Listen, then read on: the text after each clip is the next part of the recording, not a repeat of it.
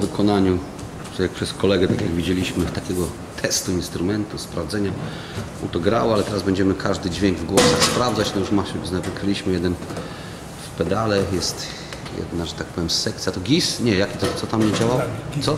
GIS chyba. Teraz jeszcze tutaj dodatkowo sprawdzimy piszczałki, bo kolega coś tam, coś go zaintrygowało. No tak polegają prace, jeżeli się wykonuje taki przegląd. Nie jest to dużo z reguły prac, ale takie przeglądy regularne pozwalają też zachować w pełni y, działający instrument przez wiele lat.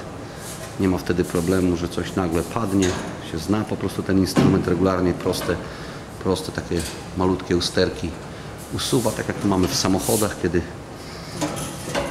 regularnie jeździmy, wykonujemy przeglądu samochodu, nie mamy sytuacji, która nas zaskoczy w czasie jazdy, że na przykład coś się krytycznie rozwalił, niemożliwiając nam dalszą eksploatację. Natomiast teraz właśnie będziemy stroić. Od czego zaczynać będziemy? Od oktawy. No ja niestety zaraz siądę. Kolega będzie tutaj siedział i tam e,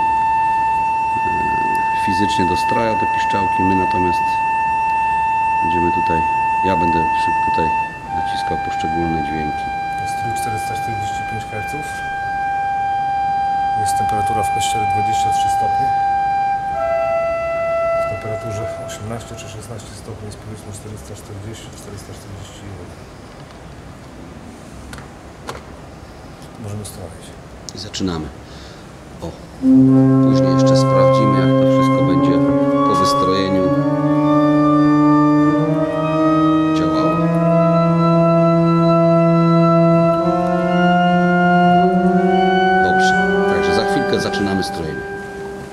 No tutaj po kilku godzinach prac przy organach, strojeniu, teraz